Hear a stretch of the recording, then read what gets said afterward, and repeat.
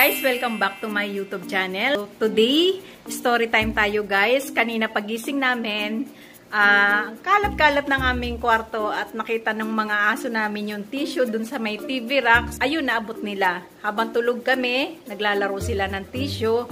At grabe, nakakaloka yung mga alaga kong aso. Sobrang kukulit. Imbis na magalit ako guys, ayun, natatawa na lang ako. Panoorin natin kung ano yung nangyari kaninang umaga.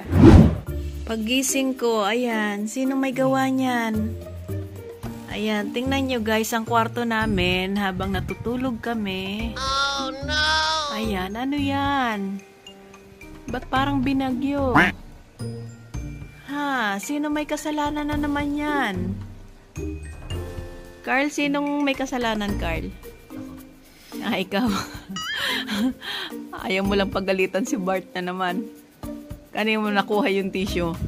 Ha? Ha? Kay Luna? Parang binagyo ang bahay namin, guys. So...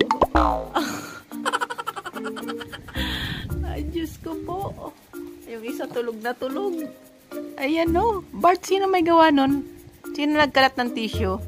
Ha? Sino may gawa? Ay, pasaway. Pasaway talaga. Ano, palalayasin ko na kayo? Ha? Maghakot-hakot na kayo ng gamit. yung isa guys, oh, yung nakahiga. Ang sarap ng tulog, oh. Nakatihaya, oh. Be, ano, sino may gawa niyan? Diyos ko, imbis na mabisit ako pagising ko sa umaga, yan ang magigisnan ko. Yung mga cute yung mukha. Nawawala yung galit ko. Ayun, yan. Kulit mo, nasan ba yung tubo? Ano yung Luna? Oh. Talaga yung mga bebe na yan. Imbis na mainis si mama eh. Diyos ko po ang hitsura ni Cookie. Mga sinabunutan. Ayan. Diyos ka, mahabagin. Ang mga asong are. Oh. Si Luna basang-basa na naman ang tenga.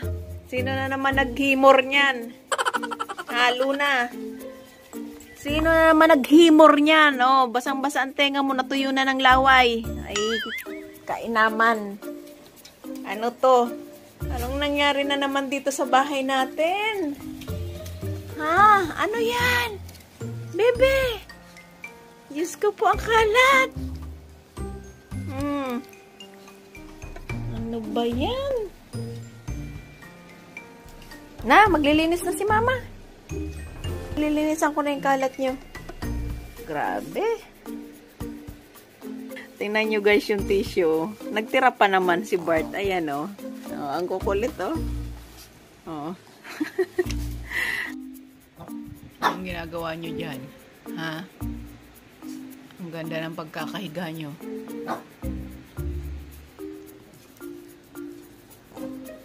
Huwag mag-away. At ito pa, isa pang kwento. Habang naglilinis ako, nakita ko yung chinelas ng aking binata na si Cyron. Ayun, kinakagat ni Bart at naputol. Naputol na naman guys. So, kailangan ko na naman bumili ng chinelas ng aking bunso at kinagat ni Bart. Panoorin natin kung ano yung pangyayari. Ano to Bart? Oh, no. Ha? Bakit sira na naman to? Lagi na lang bibili si mama ng tsinelas. Ayan o, oh, tingnan nyo o. Oh, sira na naman. Ano na naman gagamitin ni kuya? Ha? Ang dami na ngang toy. Kinukulang pa rin? Sinabi nang wag sisirain yung mga importanteng bagay dito sa bahay.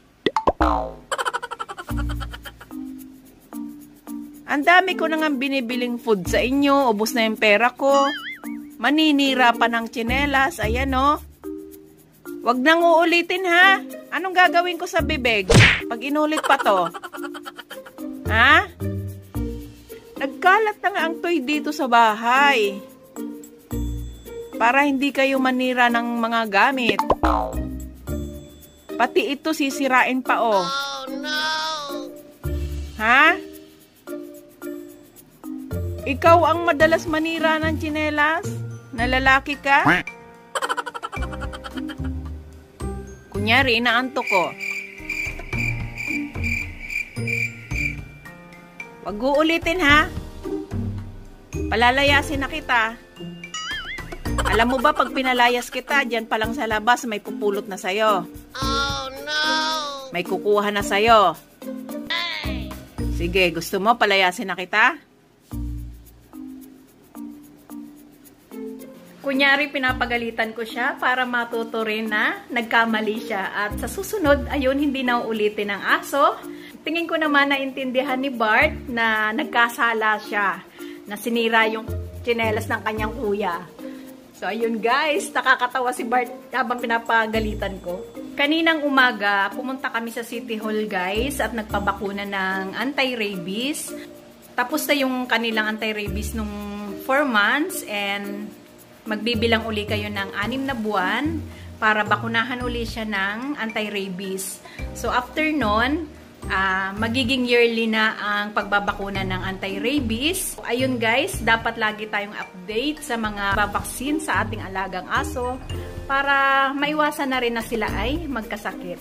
Kaya lagi nating i-update ang ating alagang aso sa lahat ng kanilang mga vaccine. Ayun, hanggang dito na lang ang aking video and thank you for watching. At kung hindi ka pa nakapag-subscribe ng aming channel, ayun, please subscribe sa aming YouTube channel. And maglalagay guys ako ng ilang video sa description box.